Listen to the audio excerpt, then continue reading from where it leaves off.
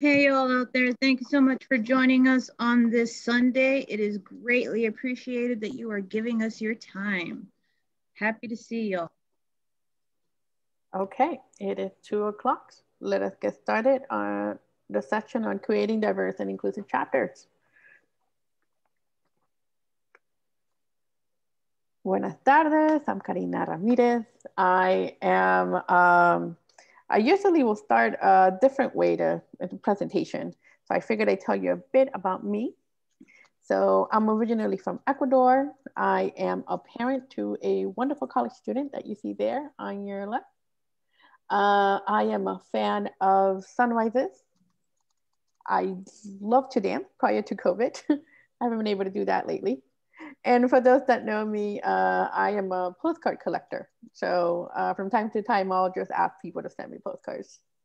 And that picture at the bottom on the right hand side is uh, a picture that I cherish a lot because prior to doing this work, I was a journalist, and that was my time that I was sitting down um, writing notes on the floor in Philadelphia. Um, I was covering the Pope's visit to the United States, and I had no place to write but I did that on the floor and I, it's a constant reminder of, you know, when you have to do things, you just adapt. So um, with CCL, I am presently the Diversity and Inclusion Director. My title officially changed last November, uh, but I have been around CCL since 2017, started as a volunteer, worked on the Latino Section team on the PGM caucus, and then from there, the diversity titles began so now I get to do all of this work on a national level, and I'm so excited to be able to do that. I presently live in West Palm Beach, Florida, and I offer respect and gratitude to its original inhabitants, the Seminole, Tequesta, Jeaga, and Taino people who have stewarded this land for generations. My pronouns are she, her, ella. Patricia. Eteapale, soy Patricia. And Eteapele is actually the word greetings in the original people of the place where I reside, which are the Esto'k Gna people, which I am also affiliated with the tribe. Their colonized Spanish name is right there in that picture. You can see Carrizo Comecrudo tribe of Texas. And um, it's one of the things that I find great joy in helping indigenous folks with uh, protecting the ancestral lands, ancestral burial grounds, protecting the earth. And um, to the left, you'll see a picture of me very happy because I'm doing what I love to do, which is I love to go birding.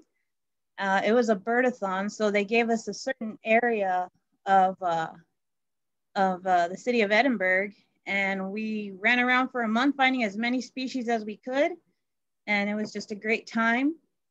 You see that little pupster right there? He's actually 12. That's Frankie. He's my dog. I love him very much. He brings me great joy. We've been on many adventures together. He had just come back from the vet and he had a good a good visit. He got an A plus. And then to the right of that, you'll see um, several identification guides for birds and plants and butterflies and uh, being a naturalist is something that I had before I joined CCL. And I was an environmental educator working with little ones at various nature centers and uh, world birding centers, the butterfly center. And so that's, those are some of my treasured holy books, I call them. And over there to the right, you'll see me and there's a bunch of hills and mountains. That was in Tlaxcala, Mexico and it was an agroecology trip and we learned all about sustainable farming and rainforests and the mountains and it was beautiful. And I'm from the Lower Rio Grande Valle here along the Tex-Mex border. Very proud of it, love it. My pronouns are she, her, ea. I have now been with CCL. This February will be one whole month. So I'm very excited to be here as a diversity inclusion program coordinator and I am looking forward to the rest of this presentation and the rest of what we can do with CCL, bringing diversity to chapters. Thank you. Thank you so much, Patricia. Okay, well, during the seminar today, we're gonna go over um, a bit of the diversity and inclusion work that I am up to, um, CCL National. We're gonna talk a bit about creating an inclusive culture inside uh, your chapter. And we're gonna do an activity to help us look from within. I wanted um, to just, it is my pleasure to be able to present to you our diversity fellows. You're gonna see them here in the room.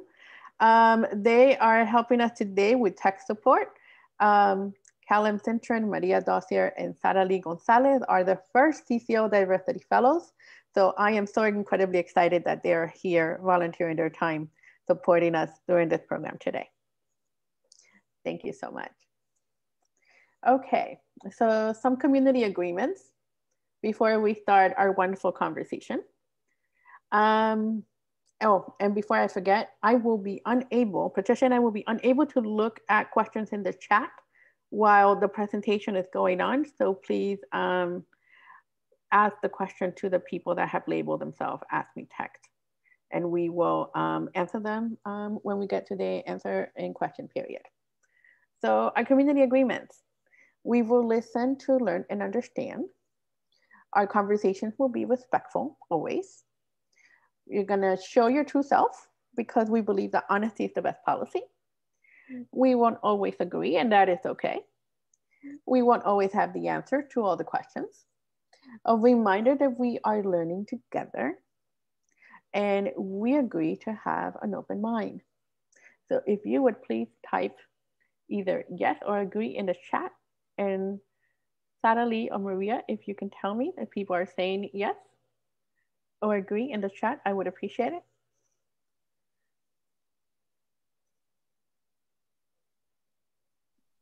Yeah, it looks like everybody's agreeing, which is great. So everybody's. I'm getting some direct messages about it too. So, yep. Okay, wonderful. I appreciate it. Thank you.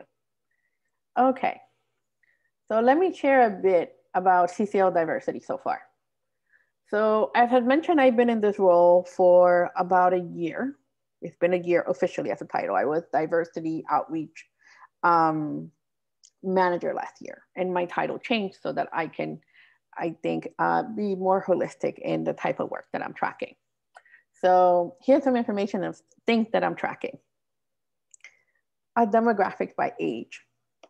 Um, this information was provided to us by our data and strategy director, Tony Serna. So it's good that we have this information and can be able to tell that we are doing so well in recruiting people under the age of 40. Um, this is fantastic if you see the work of um, Clara Fang. Uh, she has been engaging with all different types of people under the age of 40 from high school to college. And it is so good to see that reflected in our demographic. my diversity work also includes political affiliation. Um, as an organization, um, we are presently, the majority of us are 87% Democrats, 7.6 are independent, and 4.6 are Republicans. Um, we are still recruiting uh, people that want to help us do this work. Um, it is good to note that 9% of uh, Republicans are alarmed and 90% of them are also concerned. So we know that we have a better opportunity to be able to engage with our Republican friends, um, especially this year on the kind of work that we want to do. And of course, our demographic by race. Um, we are getting better than when we started. Um, the organization started tracking um, ethnicity in 2013 at that point, we were 94% white and 6% people of color. We are now at 71% white and 25% people of color. Um, this is a work in progress. Patricia and I are here to help as much as we can to help diversify our chapters, and that is, you know, a portion of our goal. Well, we work on all types of diversity, but the first three that I just mentioned uh, are the ones that uh, CCL National wrote in the diversity plan in 2016. But that doesn't mean that we don't think about all different forms of diversity, like LGBTQ. Um, we are talking about different type of things that we want to do um, in programming. So here are some activities that I am up to with your fellow CCLers. So Don Adu, uh, he actually coordinates um, diversity calls with the regional coordinators. And those have been taking place at CCL for a while. Um, we also have diversity teams. We are now up to six diversity teams. Um, the other work that we're doing, I have been working on Spanish language efforts since I joined in 2017. So we have a website dedicated to giving information in Spanish about what we're up to. Um, since I started work as a diversity coordinator prior to being director, um, I'm tracking diversity throughout our events. So being in a regional conference like today is one of them and doing trainings at a national level as well. Last year, we created a diversity and inclusion staff committee. So we have 10 members um, that have volunteered to look at our diversity plan and to make sure that we are implementing everything that we say and to also uh, help us, you know, be accountable for this work. Things that I am seeing started last year that I'm very happy to be able to just support the cross collaboration among action teams. Um, the Catholic team and the Latino team got together last year, um, as well as the Latinos and conservatives, and they're all uh, doing different um, efforts um, that we hope we can invite more people to join those subgroups uh, this year. Last year, I created a new position called the community reps, which are volunteers that are focused on chapter regional diversity support. Um, my goal is to have 11. So far, I have five to six um, community reps, but it is uh, a wonderful team that now uh, along with them, the diversity fellows are also part of that team, as well as a diversity intern for this year. And all they're doing is tracking work on a local level to be able to ensure that we can support um, what chapter are doing. And of course, the diversity fellowship, those are three positions that started this year. And I am so glad to be able to see this and support this in the role that I personally hold. So as we think of this conversation, I was thinking of what are some things that I will want you to know. So I did this. I usually do this when I uh, put together presentations that have to deal with diversity. Um, and I'll be like, okay, well, let's look at the regional diversity. So I went and I pulled some maps from the US Census Bureau. Um, in this particular instance of diversity, we want to think about representation. So I'm only going to focus on race. This is the diversity among people in DC. These slides are gonna go rather fast and you will have access to them so you can see them. The reason why I'm pointing to these slides right now is because I want you to think of your chapter makeup. So if your chapter right now doesn't have communities represented in these slides that you will see them, I want you to think of what will be some activities that you could do in order to invite members of these communities to come and learn about CCL. So this is the makeup in DC, which also has, is predominantly white, but as well as a big population of Black and African Americans. This is the Latino population in DC. And the reason why these slides are separate is because when they were presented in a particular place in the Census Bureau, they had two maps. So I just went over and copied the maps um, they usually separate Hispanic or Latino from all the other demographics. And don't ask me why, it's so weird. Um, this is Maryland. Again, Maryland has predominantly white population, a large population of Black and African Americans.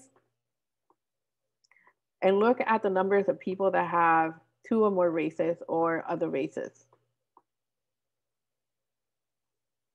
10.6% of the citizens in Maryland are Latino. Again, think of your chapter and think of the diversity that it could be possible to have. Delaware is 67 0.7% white, but you do have an African American population as well as an American Indian. You even have an Asian community members there. Think about the members you don't have in your chapters. Delaware is also 9.6% Latino. New Jersey, again, predominantly white, but you do have, again, members of the African American community, members of American Indian and Alaska community, Asian community, people that have, um, in answering their survey, they said that they, they were some other race alone, and people that had two or more races. The Latino population in New Jersey, 20.9% Latino. Again, think of the makeup or your chapters and think of what is it that you can do to be able to have at least try to work toward um, increasing the diversity of your chapter to reflect somewhat of these numbers. It's a challenge. It's not something that can be done every day. It's not something that can be done right away, but there's nothing like today to get started. So I am focusing on those numbers because I go back and I usually think about our, our vision and our mission. We want to create a livable world. And in the way that I view diversity, or Patricia and I view diversity, we want everyone to be part of the solution. Or we want to invite as many people as we can get to this party right? Because we think that as many people as we can bring to CCL will help us do the advocacy that we need to do to hopefully help us get this bill get passed. We need more voices. We need more people to be able to help us pass the word around about what we want to do.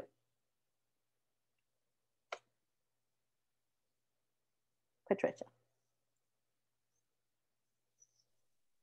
right? You're always on mute whenever it's time. Thank you for your patience. Um, so this is the time in the presentations where we like to give you a little bit of inspiration and a little bit of uh, meditation time. We provide a quote and this one I picked because I felt strongly about it. It says, what we say and what we do ultimately comes back to us. So let us own our responsibility, place it in our hands, and carry it with dignity and strength.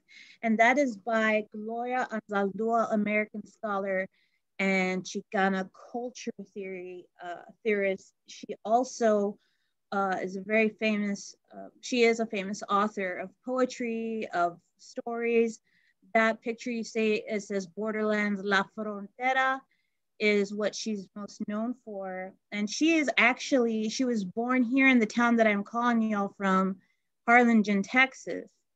And so she has uh, devoted, she devoted her time to, to talk about what it feels like to be a part of one world, but having to be on both sides. So it talks, she talks a lot about cultural issues, cultural barriers, but she always finds inspiration in it. And we wanted to share that with you. Thanks so much, Patricia. Okay, so while we're doing this diversity work, I often get uh, calls about doing anti-racism work. And as I'm coming to evaluate the work that I've been doing um, and also learning more because I um, was not a practitioner of diversity work prior to joining CCL, um, came to determine that diversity and anti-racism are two different things. Uh, we have the number of people that came to this work today have expressed interest in this session. Um, you want to diversify your chapter. And at some point, you know, you want to be able to talk about anti-racism and how that plays. And sometimes people are like, well, what does that have to do with climate work?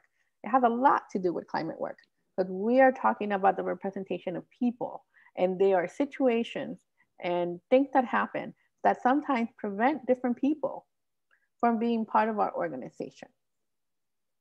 So this is why I wanted to be able to uh, help you understand that the diversity work that I do is not particularly anti-racism. So from time to time, you will see an anti-racism training. And there are some chapters that have individually taking that on. But my work in itself deals with people. Diversity includes all the way in which people differ, and it encompasses all the different characteristics that make one individual or group different from another. It is all inclusive and recognizes everyone and every group as part of the diversity that should be valued. It also involves different ideas, perspectives, as well as values. Anti-racism, on the other hand, is defined as the work of actively opposing racism by advocating for changes in political, economic, and social life. Anti-racism tends to be an individual approach and set up in opposition to individual racist behaviors and impacts. I, um, there is a great resource called Racial Equity Tools. It has a lot of information uh, as well as terminology that has to deal with both diversity and anti-racism. And I highly suggest that you go and visit uh, their website. So here we have the uh, area where we talk about different barriers to um, diversity at CCL. So there are going to be times when folks say, we want diversity, but we don't know how to do it because this came up or this came up. And some of those things are language. Maybe they don't speak the same language or they don't have a strong uh, vocabulary as whatever the dominant language is. However, that shouldn't stop us. We just have to inquire on how to be inclusive. And that is why we have people that interpret and translate. And so if that's an issue, just contact CCL and we can work it out. We'll figure out a way. Reach out to other chapters, ask them what they're doing if they're having an issue with uh, someone with multiple language. Socioeconomic factors prior and after to COVID, especially after COVID, things have changed quite a bit. Ableism. And there are different issues for those with uh, ableism because some are seen and some are not and that shouldn't stop us from being inclusive. It just means that they're going to need an accommodation, and that's fine. We shouldn't be scared of that. We should be welcoming. Access to information. Not everybody has the internet. So maybe we need to focus on printouts, and that's fine. Perspectives, gender, religion, political affiliations, so all those together have been some that have been brought up to us. And that's something that we can all work on together. And the purpose of talking about the different barriers is to be able to note that there are people in our communities that sometimes, for one reason or another, just cannot participate in our events. That does not mean that they don't care about climate and that they don't care about the solution to the planet but there are just certain situations and different experiences from people that we need to be able to find a way to accommodate so that we can become more inclusive.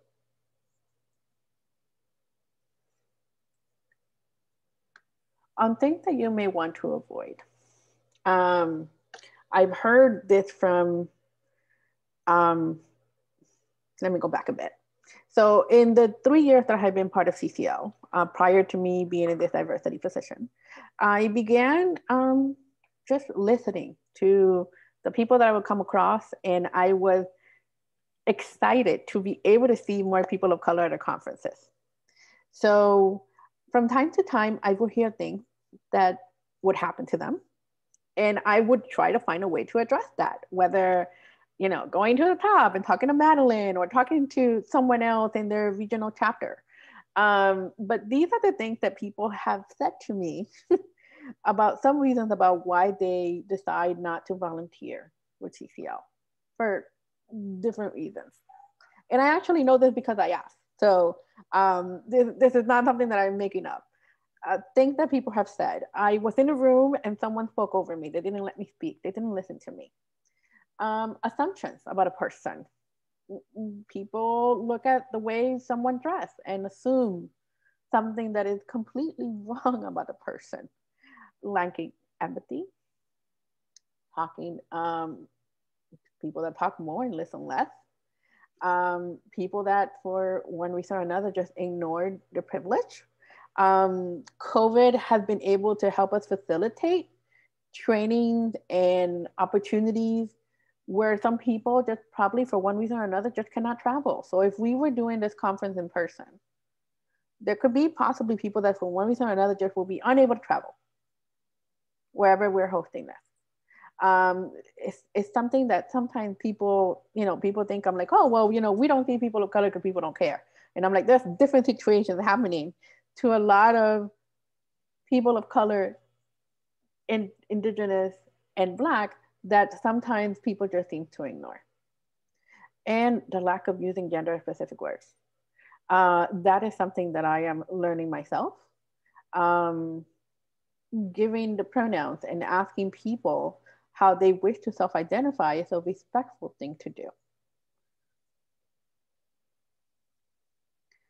So let's talk a bit about creating an inclusive culture because uh, it's the reason why you're here in this presentation. Patricia. Thank you. Cultural competency. So here we're talking about not making assumptions as a way to be respectful while communicating. Now we're talking about gender neutral pronouns. Now that could be something like saying folks, team, friends. I'm from Texas. I say y'all often. Some people use fam as a way to say short for family, everyone. If folks don't want to say what their pronouns are because they're just not comfortable yet, you don't have to worry about it. There are ways to just be able to be gender neutral while addressing a group. Now, the thing is, there are folks that will say, These are my pronouns. And we need to be respectful when in these groups. And that's why pronouns help us to facilitate effective communication, especially when it is something that's very, very important and close to those people's hearts, because we want to be inclusive. So we want to be respectful. And they're also a part of people's culture or maybe how whatever it was linguistically they they've come to communicate with ethnic identities it brings diversity and inclusion to our chapters one thing i talk um, i've talked about is there might be an individual that got their doctorate and maybe instead of saying mr or mrs they might want to say no doctor and they'll say their name. And we don't question that. We respect that because they've said, no, address me as Dr. So and so. So that's not a big deal because we're respecting them. So the same goes for pronouns. If a woman says, oh, I'm a widowed, but I still go by Mrs. So and so, some might choose to go back to Miss and go back to their to their um, I forgot the term um, before they were married, the, whatever their last name was. Their maiden name. Maiden name. Thank you. I just I just slipped on that. I'm looking at the little light and I'm thinking of all y'all looking at me, all y'all beautiful people. So we don't question that. So think about how people ask to be addressed by, and think about how gender pronouns should not be something that stops you from being inclusive.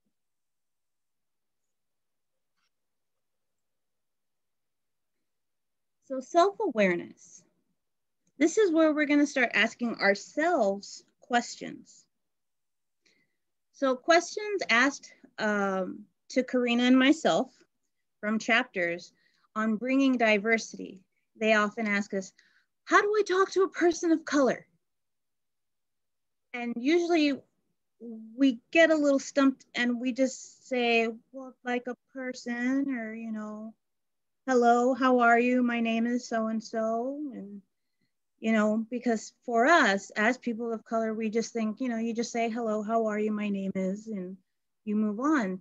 But the thing is, when we present this question to other people of different ages and ethnicities and race, someone brought it to our attention that it might be that they should ask themselves when was it that it became hard for them to talk to a person of color?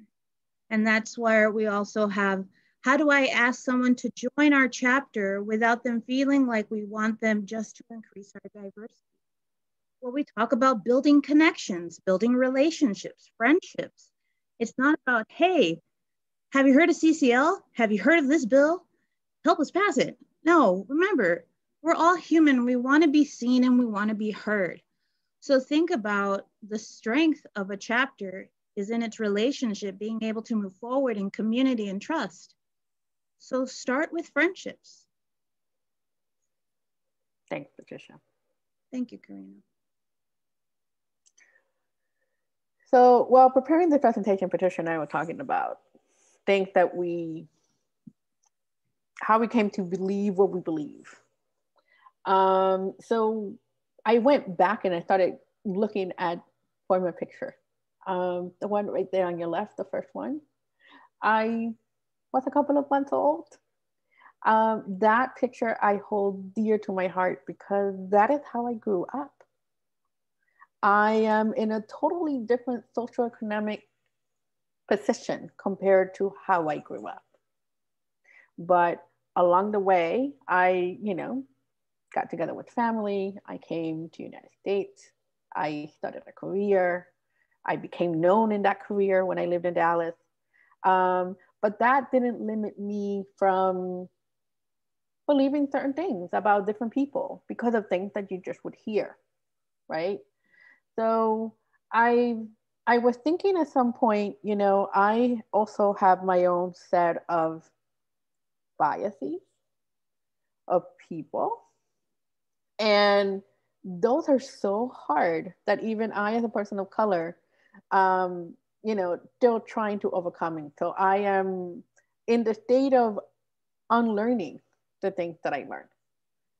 And if anything from like and I will put my first forward so that you can understand. Um, being afraid of being around Black people. A lot of people in my family felt that way. And I usually wondered why. Like if there's something in particular that happened that I was not aware of, but I grew up with that. Um, the idea that I needed to marry someone that was white because it, I would better the family. and, and, you know, now that I think, now that I'm older, I'm like, why was this um, accepted in the family? And why did they think that everyone should follow that? So again, I am also working on unlearning all the things that I learned.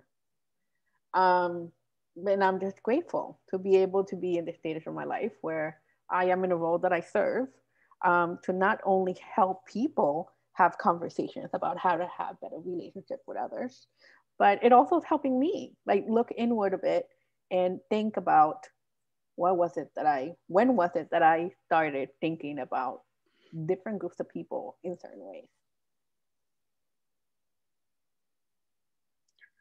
Ta-da! And now I'm here after Karina. And this is where we have, of course, my share of the how I came to be and believe. And so, um, unlike many many people. I was born at a very, very early age. Um, that was the joke, sorry. Uh, this is the part in the conference where this is where everyone would laugh. and that first picture, that's that is important to me because that's when they nicknamed me Mickey. They said I looked like a little mouse, and they said the doctor said I was born with my eyes wide open, and I was very quiet and very just attentive. And it's important to me because my parents had trouble and after four failed attempts at bringing a child into this world, they said this was the last time. And so here I am. And so I feel that I am meant to be here and that there's something important for me to do. And I feel in my gut that that is CCL.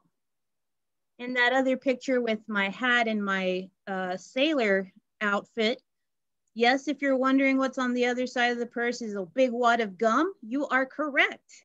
My mom flipped that last minute before the photographer took the picture. Now, the reason I have that picture there is because my mom dressed me very quickly after she came home from work and we ran over to Sears and we went to take the picture. And I realized that there are people that are working so hard for me to have a better life. And it gave me much respect to the immigrant story, where my mom, aunts, and uncles, my grandparents had to work in the fields and they had to struggle.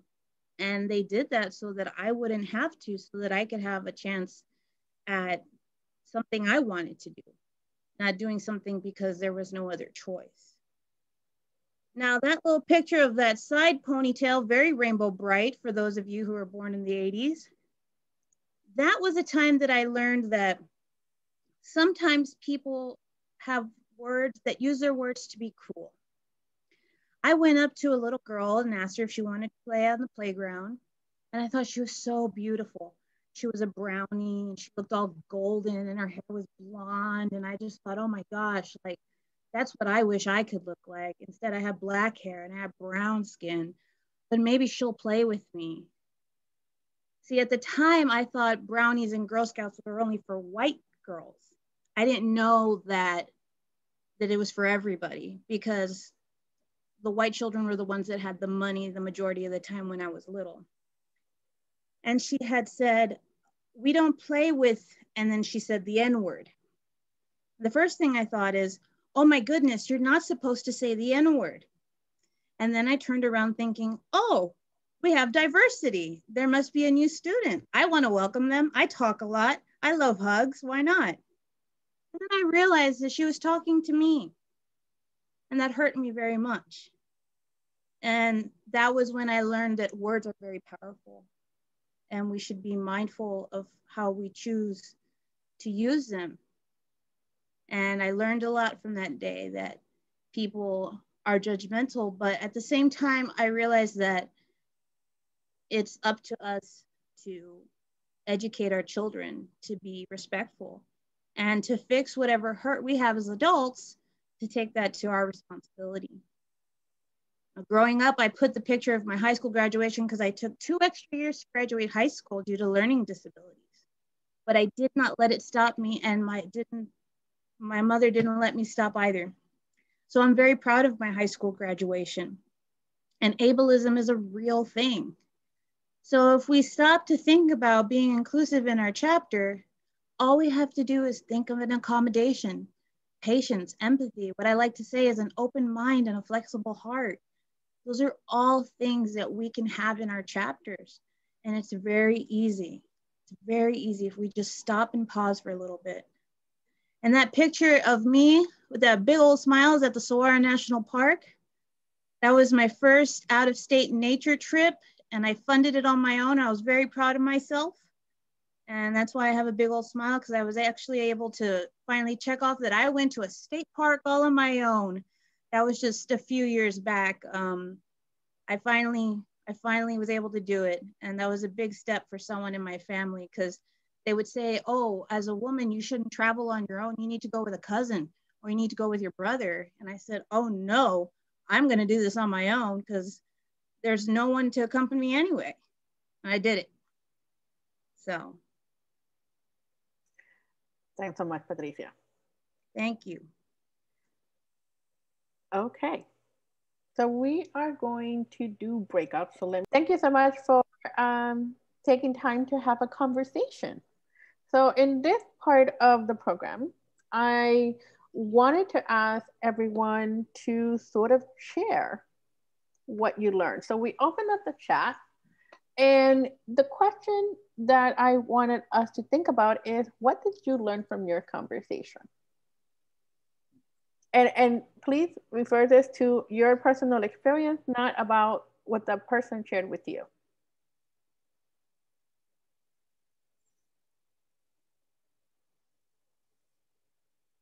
And if you are willing, I would like to call on two volunteers to share what they personally learned so that we can all take a moment to listen. So if you could use the raise your hand tool, I will be more than happy to call on you and to listen from your experience.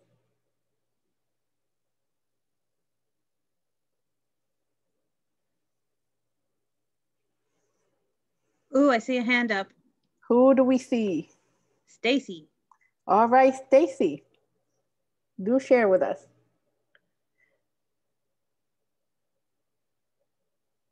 Oh, you're on mute, Stacy. There you go. Um, I talked about how like when I was growing up, my family had the bias against basically like every other race that wasn't our own. But I necessarily adopt that because I grew up in um in a diverse like school space. Like so I was able to like interact with like people of like different colors and stuff. But I did have a bias against like like like I like my community where it's like oh haha like cis straight white males like oh they're so ignorant. And i think that's to like vocalize because this is a very like cis straight white male area. And so it's like interesting to recognize that like eh, like like we make jokes about it but at the same time we have to recognize that like it's not true. Like you can't like you can't hold I don't know how to explain it, but it's like you can't like judge other people, you know.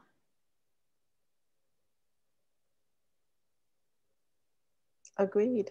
Completely agreed. It's, it's very interesting on how we, when we start thinking about those moments we had of the things that we learned or the things that we said, it's almost like, what was it in that situation that I could have like maybe done differently? And then half the time thinking, it's just things that happen inside the family or in the situation that happen. And I'm like, but now that I'm aware, this will happen now that I am aware that this was a particular situation. Thank you so much, Stacy, for sharing. Stacy, where are you based out of? Um, Maryland. Maryland. Okay.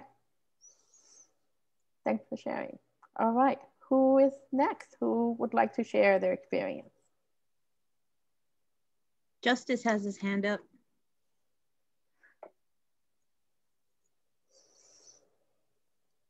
Hi, Justice. You're muted.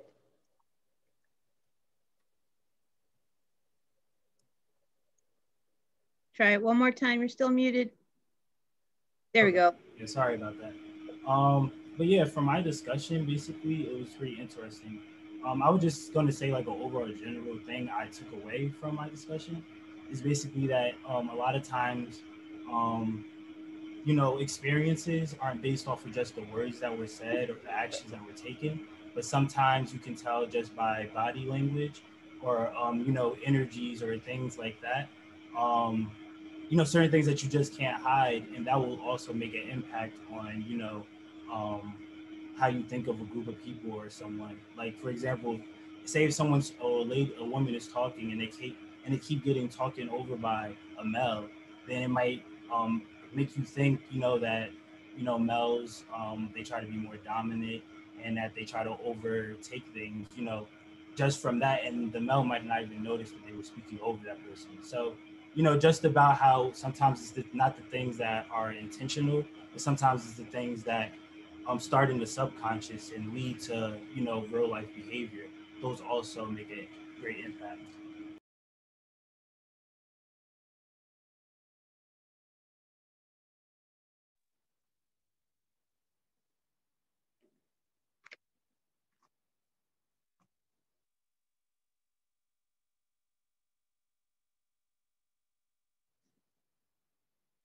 Um, so Justice, you were saying you were talking about issues. Um, I know I know your mic is as as loud as it can. I'm gonna put my headphones on one more time. And someone may be talking over another individual. Yeah, or I'll just basically things. Oh, okay. Oh, you want me to further elaborate? Yeah, yeah. Feel free. Yes. So like basically, um, things of just like like maybe certain social norms or um, things that people do um, not consciously um, that you know they stem from when they were young maybe when they were growing up of maybe it's how their dad treated their mom or maybe it's how their dad treated their neighbor you know what i mean that was like black or something like that or things you know is these examples these small gestures that might even mean more than words a lot of the time, you know, because words are just words at the end of the day, you know. Um, it's like those, and then also when you see it every single day, repeatedly, you know, then it kind of ingrains in your mind um, certain notions of certain people and um, things of that nature. Yeah. Um, yeah. So I just realized how big of an impact that actually is. You know, um, so like even though like we already know that America has a lot, you know, even before you know the riots or anything like that, has a very racial, already had a very racial history and things like that. But a lot of the things weren't actually said. It was just the way that things were operated, and um, you know, and things of that nature. Not actually concrete things. And I feel like a part of solving that issue, um, you can't because you could train someone what to say and what not to say, or what to do and what not to do, but you can't control how someone feels or how someone um, naturally reacts to something. You know, like if someone's nervous, they'll stutter a lot, or if someone is scared, they'll. And those things, you know, you don't have a lot of control over those, especially when you were raised that way.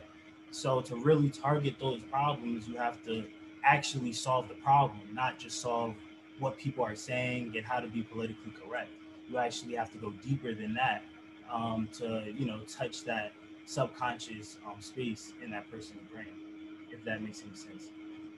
Oh, it does. It makes and it makes perfect sense, which is why we we had um, in the beginning as part of our presentation, we put uh, that part of the presentation was going to be called looking within because often when it comes to issues uh, like this like what you were saying like also we don't know what it was like growing up in their household who knows what they saw their parents you know treat people.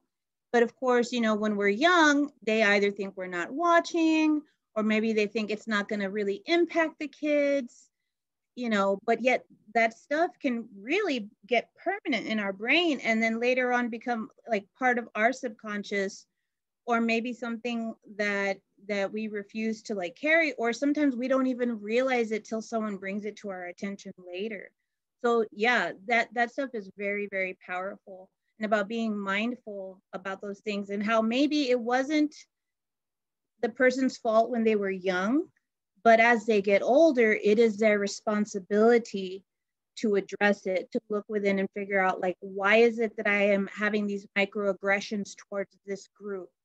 Or why is it that I have this attitude towards this type of person? So yeah, no, everything you said totally makes sense. And thank you so much for sharing. Really appreciate that. Thank you so much for sharing, Justice. Thank you, Justice. Do we have a third person that would like to share? Lisa's hand is raised. Lisa. Hi. Yeah, I um I was telling Cheryl, I met up with Cheryl. Um I'm only four foot ten, and so growing up, people would treat me like I was younger than they were, even if I was in their grade. And um, I have no control over my height. So I understand how other people kind of can react to um, assumptions. And uh, I feel like um, I always tried to have empathy for others when I could see that they had no control over how they looked or, you know, what their appearance was. And you just need to get to know people better, um, not based on their appearance. And uh, it was definitely something that has and still has a, a major impact on my life because people make assumptions uh, about me uh, maybe saying that I'm innocent or that I don't know any better, I don't have experience because of my height. And it's very strange. you know, I still have a functioning brain. So that's just something I wanted to put out there. Thank you so much for sharing, Lisa. Okay, thank you so much, for Stacy and Justice and Lisa for taking a moment to share their particular experience. Yes, Cheryl, it, it's good to hear exactly that. I think sometimes we forget as we're having conversations with different individuals or, you know, in situations, um, how the words that we're saying impact them and their lives. So let me um, bring back the slides so that we can continue on to the next portion. And thank you so much for participating in this. Greatly activity. appreciated. So this, the reason why I was having that um, particular time for us to look inward and look at just things that maybe we have experienced or learned is because I want us to start thinking about the CCL that we want to create, right? It usually says it takes a village to be able to create an organization that is going to be diverse and inclusive, the one that we want to have. So here are some tips, and I took these from. Um, so there's this, this resource called the Community Toolbox, and the Community Toolbox has a whole bunch of information um, that deals a lot with community building.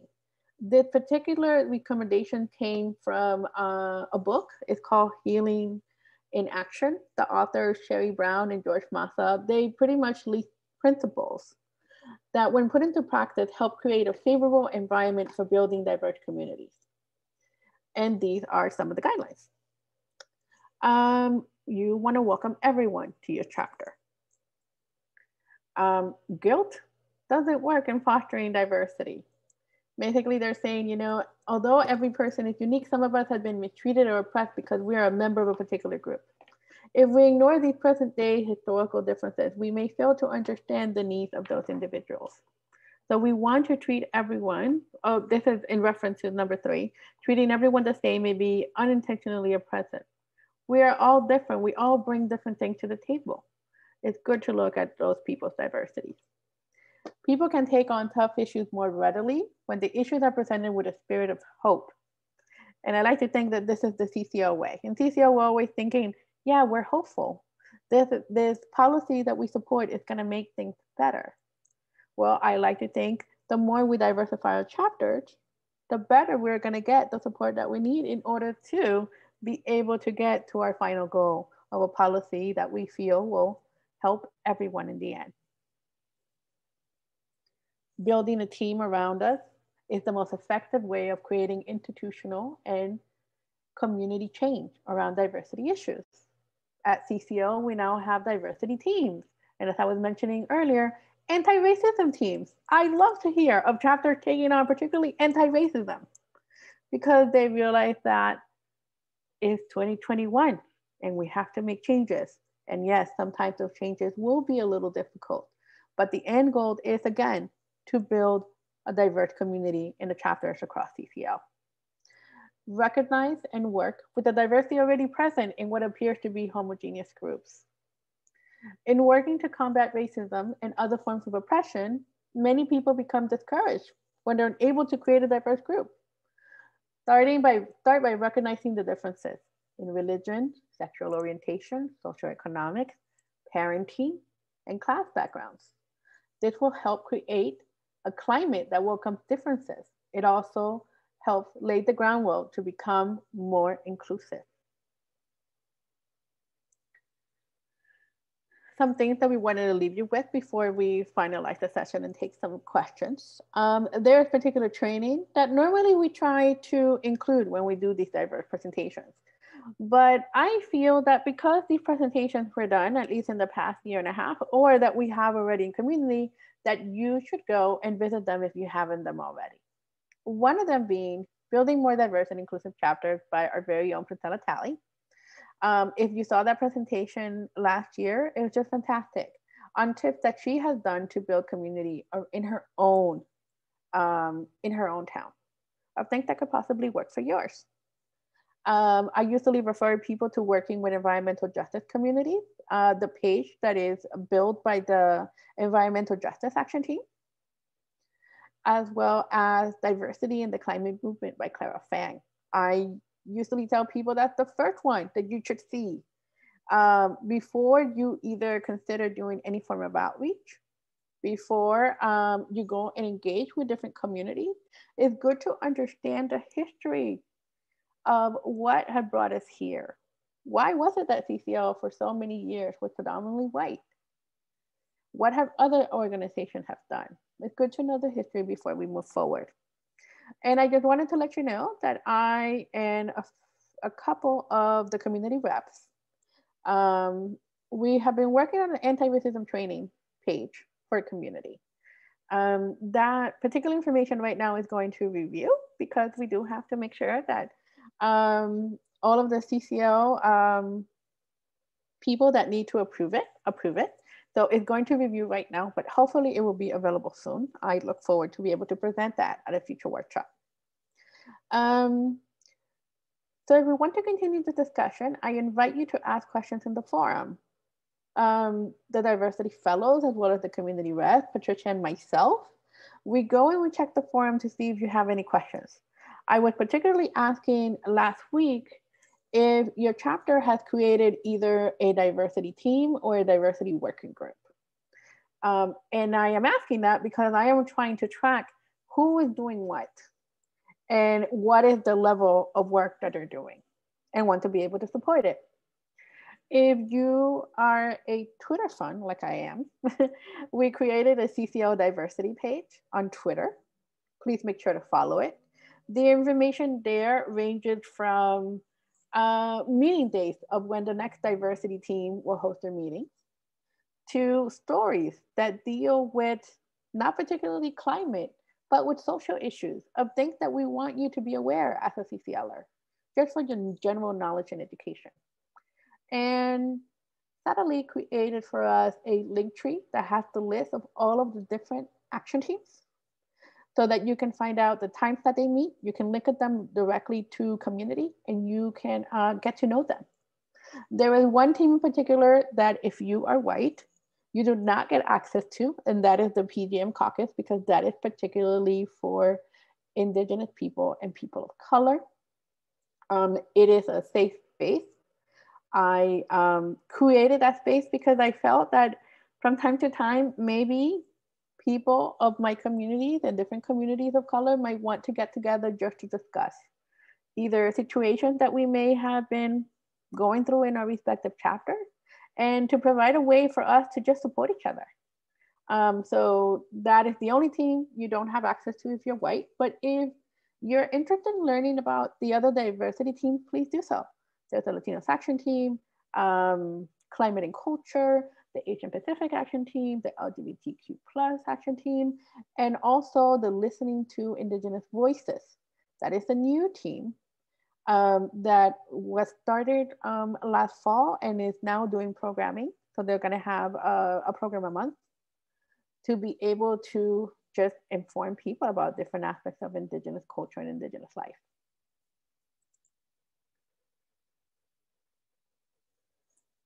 So Patricia. I leave it to you to close it. I laughed and I saw my little box and it was like, you're muted. And I was like, it's the story of our, it's the story of like 20, the quote of 2020. You're on mute. so y'all, thank you so much for being with us, especially on this day of rest for some folks. And, you know, nonetheless, you're putting in the work and that is amazing. So applaud yourself, high five yourself, hug yourself, give yourself that credit. Now I picked this David Suzuki quote because uh, he is an amazing scientist and also does a lot of uh, great work in communities that have been underserved or under-resourced. Uh, he's wrote like 50 books, almost 20 of them are for children. So his quote is, Change is never easy, and it often creates discord. But when people come together for the good of humanity and the earth, we can accomplish great things. And that is David Takayoshi Suzuki. And I mean, it was one of those like, what what's what's a, a climate talk with diversity inclusion without a scientist? So luckily for us, we have uh, Dr. Suzuki, who is just really, really awesome. He's also an activist. He's he's has television programs, radio. He is so active. So check him out. And that's that's the quote that I brought in. It's all about um, care of care of the planet and care of all the folks and living things on it. So thank you so much, y'all. This has been great. Uh, I think we are going to have time for some questions. Yes, we are. Yes, question time. Before So- the question and answer period, though, let me put our emails up Uh-huh. there on the screen. Um, and to thank you for the opportunity of participating. If you have questions, please uh, reference them to both uh, myself and Patricia. Um, she is, uh, we are the diversity department of two people on staff. Um, but we have volunteers and now fellows who are devoted, motivated, um, interested in this work. And I just cannot thank you enough for wanting to know about this and for your ability to want to work together to do this for, um, for CCL. So um, with that, we are opening up the door to open questions. So please share your question. All right. The first question we have is from Tim from New Jersey. Um, and he asks, can you expand on treating everyone the same causing issues? I'm sorry, could you repeat the question again? Can you expand on treating everyone the same causing issues? It was a bullet in your It was, PowerPoint. okay. So here's the thing. So if we are talking to, um, mm, now I'm thinking about it and how to put it in a, in an actual example, Patty. Okay. Oh, oh, my personal story? No, I'm, i like I'm trying to answer the question on like how do we how does that hinder um, people working together if we're treating everybody the same and not noticing the differences? Well,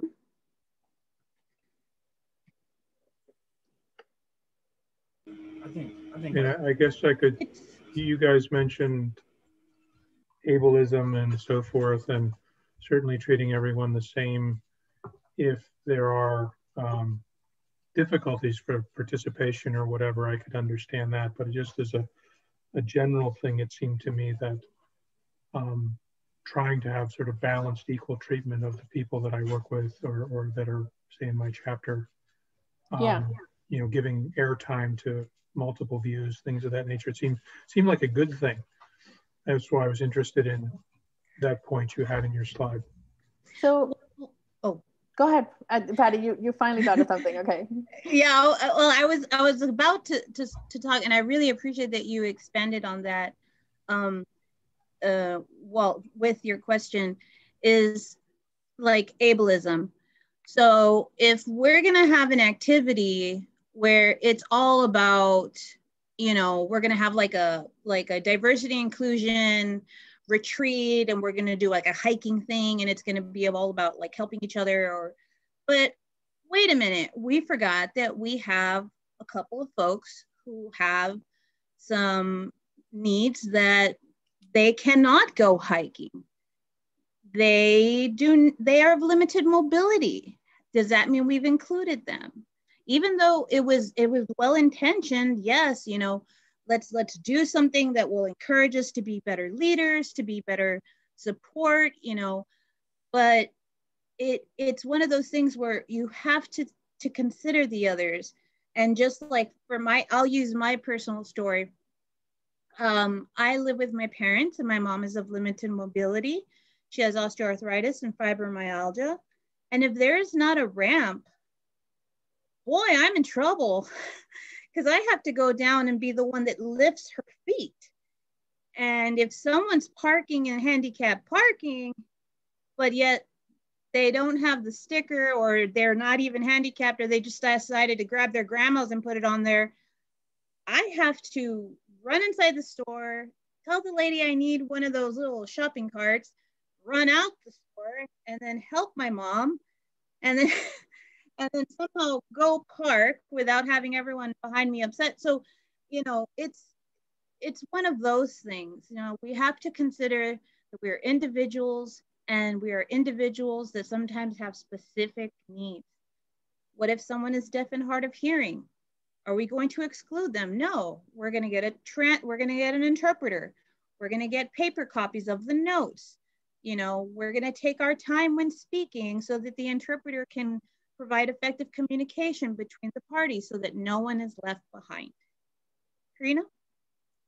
Thank you so much for that. Yes. Any other questions? Tim also had another question. He had particular interest in how to increase his diversity for his chapter.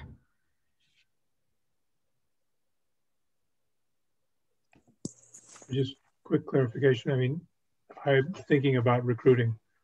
Okay. Um, and one of the things that I spoke about in my um, breakout session was just, you know, most of the volunteers that come into our cha chapter are sort of self-recruited. They find CCL someplace. Um, I don't know that we actually have a active recruitment thing. We started talking about it recently, but if we wanted to recruit from, you know, more diverse across all of the different things you mentioned, you know, age, political affiliation, race, um, you know, ways to do that is, I guess, one of my interests. Definitely Puntella's presentation on increasing chapter diversity is a good one. Um, I can tell you things that I have done because I also, I am a member of a predominantly white chapter. Um, so, but I was, you know, at the time that I was extremely active inside my chapter, now not as much because of the role that I am now um, doing for CCL. Um, I would go into, but again, this is prior to COVID. so I'm going to tell you before COVID and after COVID. Um, so prior to COVID, I will go into health fairs. No one ever thinks about going to a health fair to talk about climate because they're related. Those issues are interconnected. Um, I will go into health fairs. I will go into community fairs to talk about CCL. Um, I joined the Chamber of Commerce because I was trying to get to know members. So I, I, first went in just to be able to know the members in my community because I had just moved into my town. Um, but I, I did go into the Chamber of Commerce and became a member just to go learn about them. And I also went and joined a community group in my neighborhood. I live in a predominantly African American neighborhood. Uh, but I came to learn that there was a particular situation in my neighborhood and people were gathering to find out and support uh, a particular effort. And I went and I joined that effort.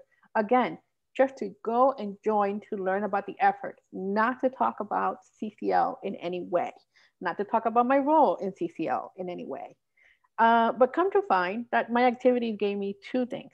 One, within a year of participating in one Chamber of Commerce event, uh, one uh, lady that I have come to know, she finally said, Karina, I know that you work in climate work, but you never told me about it. Can you tell me about it? And then I told her about it. And then she said, Could you come and present to my group? I went and presented in her group. And then she said, What activity can we do to help you? And I'm like, Could you please go and sign this endorsement? And she uh, put her organization forward. And she was the first Latina organization in Florida to support the Energy Innovation Act. But that took time. So it wasn't something that took two or three times or something in an effort. It was establishing a relationship of a year to get to know her.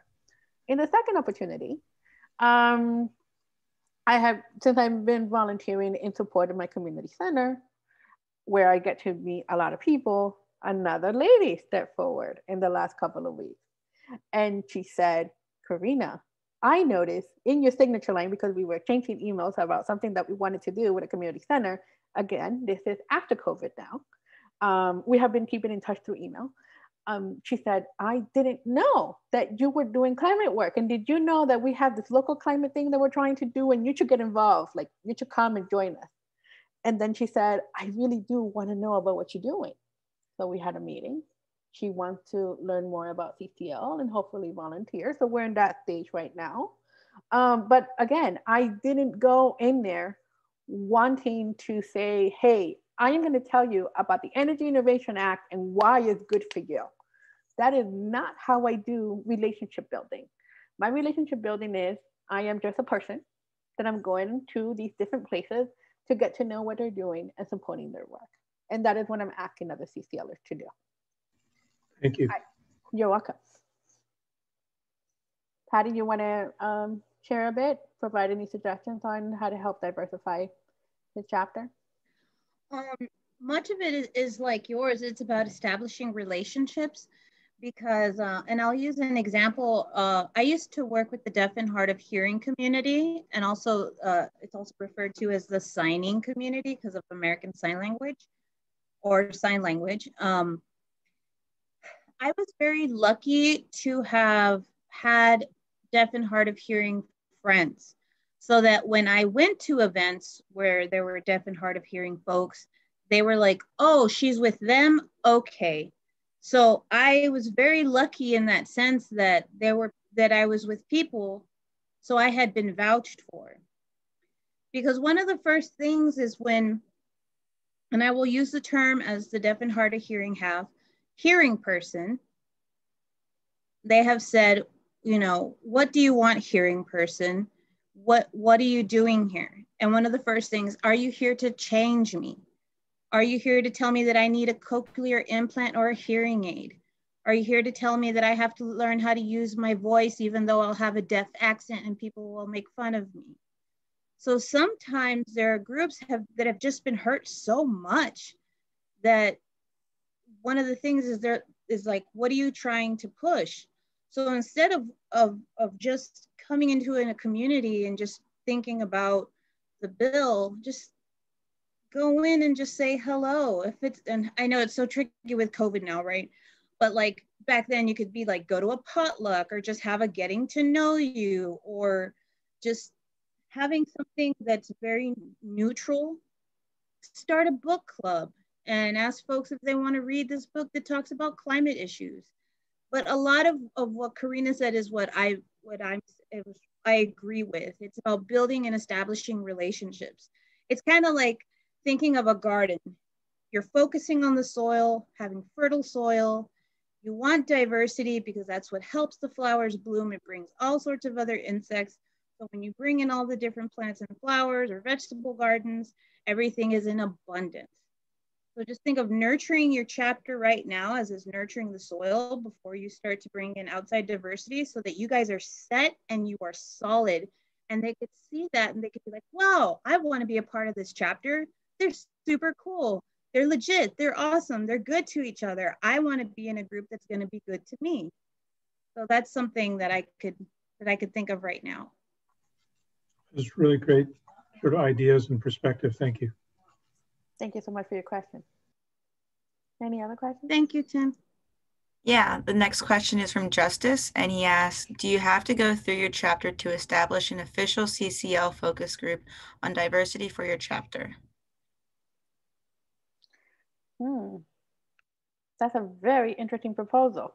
this is why I uh, love things like this. I'm i was like, about to say, Karina, have you ever had that question before? I, and I'm like, expand on your idea, Justice, because I think I think there's an idea coming in here. Expand a little bit more. Nah, honestly, I'm just new to CCL, so I just really wanted to know, like, do I have to get their okay basically to start a diversity focus group? Um, or is it like, you know, to become a, because I don't know if there's like a list of all the groups for all the chapters or anything, or if it's just you basically how you present it to your chapter, basically, right? Am I right? Basically, you go and present it over to your chapter, your chapter leader or leaders, and you basically say, "Hey, I want to take on this diversity work thing," and you can invite as many people. So I've heard of people um, starting. What was it that they were doing before? It's like there are different chapters throughout CCL at different levels.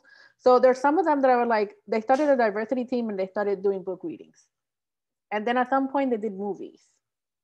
And now because of COVID, of course, a lot of the work stopped because there were a couple of groups that were doing like um, listening tours where they were visiting different community places around a state to go learn about those different communities just for the sake of learning about them. So it's all dependent on how you want to design things. Um, what I'm asking people is that when they do that, to notify, um, you know, after you get the approval of your chapter leader, of course, um, to notify um, Patricia and I so that we can at least know. And the idea is this is our wish list. Idea is to get a meeting together of all of these different diversity teams and groups so that we can come and share ideas. Because I think at this point, someone must have tried something that has worked and there's no reason to reinvent the wheel. If we already have something that might have worked in doing outreach, in communicating with a group, or even learning about different groups, trying to build relationships with different kinds of communities.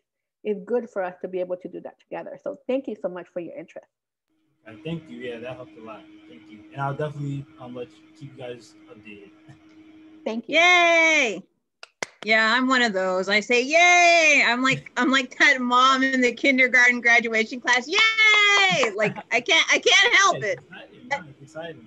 That made me excited. I was like, yay. Thank you so much. Any other questions? We're at 3.35, so we're a little early. The session is supposed to go until 4. Uh, but I wanted to give it time for, for us to have uh, discussions and to be able to answer some questions. Especially because, um, you know, this is not, uh, this is not just the the easy like, hey, you want to come over here and talk about diversity and anti-racism? It's pretty, you know, over coffee, just a little something. No, this is something that is in depth and takes time and it takes healing and it takes searching and self-evaluation. And so that's why we wanted to make sure that there was time so that if someone had questions, if there was someone that needed extra time, because you, uh, uh y'all's, see, I told you I'm so Texan, y'all's uh, comfort and and intellectual curiosity is like what we want to make sure that you feel safe comfortable. If there's questions we're here to answer them you know um, just like with justice bringing up like hey well how would i do that in my chapter like great question and maybe there's someone else in the group that has the same one we just wanted to make sure that y'all y'all felt like this is this is your time like yeah we're to give some presentation but this is one of those topics where this is where we discuss. And so, you know, this is, we wanted to make sure there was ample time for that. So by all means, if there's questions, you know, Tim raised his hand. Ooh, Tim, Tim's back. I, I, I talk a lot. I'm, no, that's fine. I do um, too. I actually, I had two things. Um, the, the, the easier one first. Um, so probably like many of the chapters. Um, ours leans white and liberal. And I think it would be very challenging for particularly a conservative to be part of our chapter and not feel a bit picked on. I'm, we, we've not been ethically, I mean, we're gender diverse, um, we're age diverse, I think, but we're not um, politically diverse, um, and we're not really all that racially diverse. Um, but I, I think it's a very liberal leaning, and you know, a lot of people like me have been enjoying, you know, who got elected and inauguration and things, and it's it's really, you know, how do you keep that out? Or how much do you let of that in? And as a as a member as opposed to a leader how do you say, you know, how, you know, you know what that that that leans a little too far one way or the other. Maybe you could keep that to yourself, or um, you know, we're trying to be, and and this to me is one of the most important things about CCL is it isn't going to work unless it's bipartisan. It isn't going to work unless we bring a lot of people together. Um, and you know, even I was mentioning earlier. Um, Danny Richter talking about getting all the people who sponsored it before. There were 60 Democrats and one Republican. That's not bipartisan. That's, you know, our Congresswoman laughs at us when we say it's bipartisan. So, but how do you make it a safe place for other opinions and other ideas and other, other political points of view? That, that takes uh, an individual person's awareness to be able to make that happen. Um, my chapter has been growing slowly as far as like getting conservatives um, to come on board. So it's like, I think at some point I, when I was also like doing stuff, I'm also trying, I'll do my own internal check-in on like, cause sometimes, you know, people in discussion say things and it can be maybe offensive to our conservative friend if we don't watch it. But uh, you're thinking of recruiting as far as like recruiting um, conservatives and people of color. And i have been suggesting that we go to the local colleges and universities when clara frank does her outreach a lot of both uh, both communities are coming from the colleges and universities.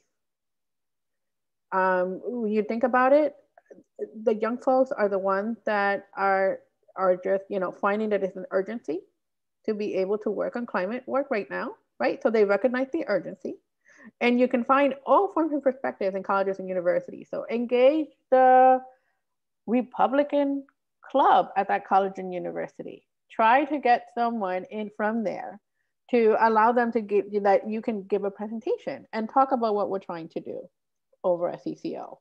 Um, I'm, I'm using the same thing that I would use similar to, to try to engage a group of color, right? Because we all have that need. It's, it's the same thing. It's a group that we don't have represented right now in the chapter, but we hope that in the future we will. Um, so yeah, that can be that. I'm like, I'm trying, like, I wish I had someone from the conservative caucus in this room. I'm to work on that. Next time we have a diversity talk, I will get a conservative person in this room so that they can help us to give tips. Um, because I've been working a lot on the on the people of color, uh, BIPOC um, outreach.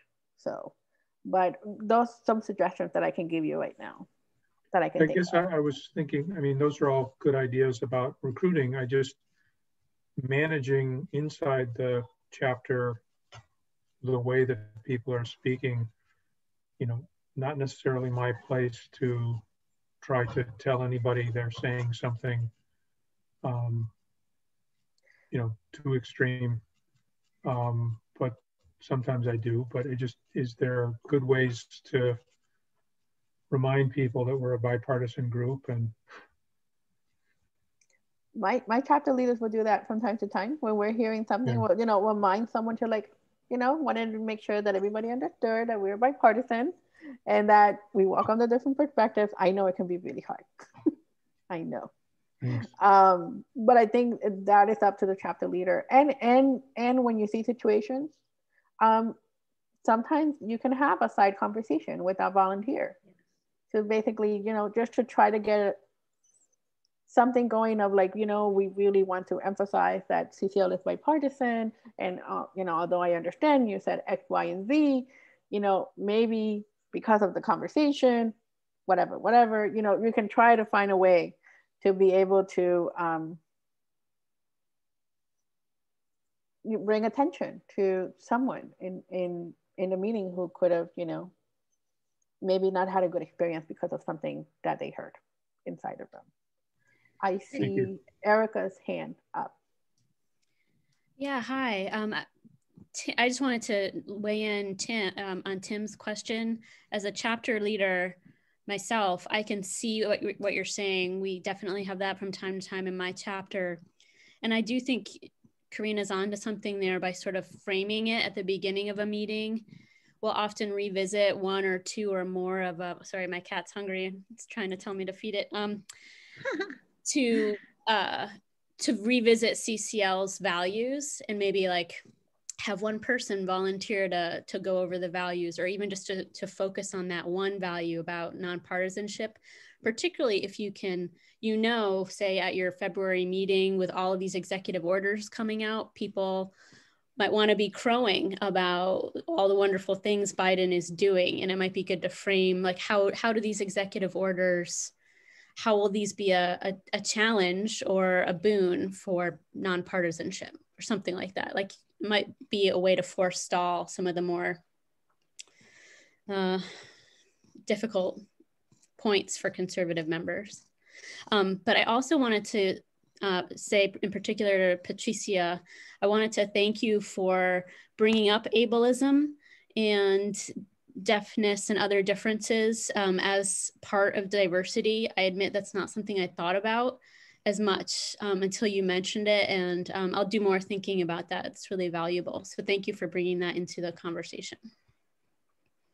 Thank you, Erica. Um, I greatly appreciate it. And um, you know, it's it's in my heart and it's also it's also my job to be here for y'all and to find out as many different ways to make it as smooth as possible so that y'all can just have fun being CCL volunteers you know and i was going to say tim you know we we also get that question from other folks too like how do we how do we make sure that maybe you know political the let's say like for you you were talking about the more conservative group you know that there's that people feel okay that they feel safe so that people stay. You know you can also encourage them like you know if if you all want to use the zoom line you know outside of our meeting times to chit chat since we can't get together for covid maybe that could be a possibility or hey if you all we need to move on because we have to get to this agenda and remember our core values of bipartisanship. If you all want to exchange numbers and continue this conversation you know by all means but right now we're on our ccl time. And like karina said earlier community agreements are very helpful because it's just you know sometimes we just need reminders because we get so caught up in the everyday busyness so, and also like what Erica said, just reminding folks like, hey, don't forget about our core values, you know, little things like that that make big, big differences. So even though they seem really tiny or really tedious, sometimes that can be the stuff that helps you the most. So I just wanted to put that out there too. Thanks everybody for the ideas.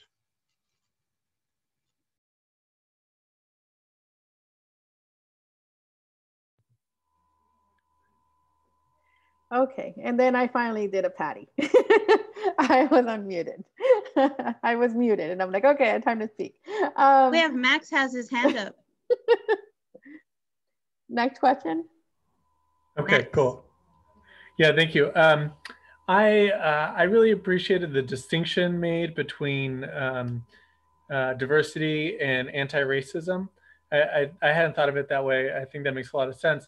Uh, and, and, on the flip side, I think that um, as a chapter leader, anti-racism is a um, uh, meaningful tool to combat um, or to make a place more inclusive. You know, I, I, feel like there have been many times where I've been in CCL environments where people have said things that have been um, uh, innocently racist or like naively racist, um, probably myself included and um, and so you know having people go through the training to um, make a space more accommodating by not um, by by not by by knowing the the parameters of of not further further marginalizing and already a group that's already sensitive to a, a dynamic. And so i'm i'm curious you know if if you have suggest i mean it's just it seems so unsurmountable. Like how do, how do you make people attune to a dynamic like that. And and if you have any suggestions on how to help move a chapter forward in being um, sensitive to race issues or diversity issues? That is the million dollar question. I um thank you thank you for your question. It's um uh, where do i start? Okay so i put it from myself as a person of color talking about anti-racism is extremely painful. Um, I'm a Latina. When I talk about racist situations, I usually think I don't experience the racism the level that my African American friends experience racism. So I that's already in my mind perspective. Um, so when I am tackling this work, as I'm making suggestions, I'm thinking, all I'm asking is just for people to remember, you know what? The work is basically this trying to help humans or other humans just talk and listen to each other. So that can be very hard to do. Like in, in the work that we're trying to do as volunteers, like, you know, we there's this bill that we support, we're trying to get all of these things, like in order to get this done. And at the same time, we can completely bypass that there is things that are happening to different communities outside of us. Not, well, yeah, they're also inside this organization um, that we should be aware of. Like, you know, George Floyd George Floyd opened up a lot of conversations that maybe a lot of us have not had. It was a very unfortunate incident that should have never had happened. And George Floyd was not the first one, right? So the African American community continues to have these experiences happening in their community that is just never endless. So it can be very draining. It can be something that I'm like, I don't want to go and talk about diversity and anti-racism right now because you know what? I have to go worry about what's happening over in my community center. So I, I can offer that perspective. So I, I'm trying to make sure that I try to answer the question the best way that I can. Um, it's a matter of just being more self-aware. Like yes. I know that we can do this self-awareness is a very hard thing to do sometimes right um, I, I can only speak from you know my experience of how having been the only person of color sometimes in a predominantly white room and having the need to think about how I dress, how I speak, how I communicate with other people so that I can be taken seriously. I don't want anyone to experience that in any session. I don't. Ideally, it should be someone comes in, hi, how are you? How's it going? You're doing great. Wonderful. Here are some things that we can do together. It's like we're aware that we need to work together in order to move this forward. Can we just not start thinking about all of these things that are just going to make just the situations that we don't want to happen inside our chapters? Um, that's what I'm thinking right now. I'm sure something will come. Uh, Patty? Max, you have a really good question. And one part is, is that, you know, folks have asked that and they bring it up. That's why Karina said million dollar question, because that one comes up a lot. And the thing is, is that we can't make people not be racist. They have to choose. Like, you know what? I'm being racist. I need to figure out where this came from. I need to figure out how I'm going to go about this. So a lot of it is self-awareness. Like I'm going to share some stuff about me because I like like Karina said, I can only speak we can only speak from our our ourselves. Like I live along the Tex-Mex border. I have a border wall the south of me. I have three internal checkpoints the north of me that will ask me if I'm an American citizen and then sometimes, depending on the mood of the agent, they might say, Show me identification. Now, it's up to you how you want to challenge it. But as a brown woman, I'd rather just say, Here's my driver's license, here's my passport, here's my social. Would you like my birth certificate? I'll give it to you all. Just let me go. Please, it's too much to bear. And then we have fracked gas companies coming in along our Gulf coastline. So we have environmental racism. We have systemic racism that's going out through all, all of the community. Um, even to get to one of the beaches, there's a checkpoint because it's where the Rio Grande and the Gulf of Mexico meet. And you really could hop over to Mexico because it's just, it, it dwindles. It's so small. You know how rivers, you know, change. But no matter what, no one deserves to be militarized. So I come with a lot of a lot of stuff. So sometimes when I come into a room, I may look really tired. And people might see that as like, what's her deal? I'm trying to be nice to her. No, it's just I got a lot of PTSD and trauma, but I'm here because I believe in the cause. So sometimes it's part of that empathy. It's part of that, you know what? Don't know where this person's coming from. Who knows what happened five minutes ago, five days ago, five hours ago? So it's one of those things where, to me, we can't make people not be racist, but at least we can lead by example by using empathy, love, and kindness. And hopefully that will, that will, that I like to say I'm not an activist, but an impactivist. Like I hope that like how I live and how I lead every day will make a positive impact on the people around me, even the animals around me. You know, I hope that they can feel my energy and feel happy and loved.